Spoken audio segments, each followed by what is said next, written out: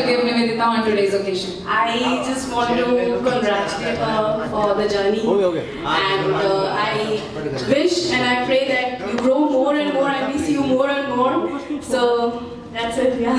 मेरी तो यही दुआ है कि निवेदिता इतनी आगे बढ़े इतनी आगे बढ़े कि हर दो महीने पर ऐसी एक गैदरिंग करे और हमें ही होस्ट करने के लिए बुलाए Thank you.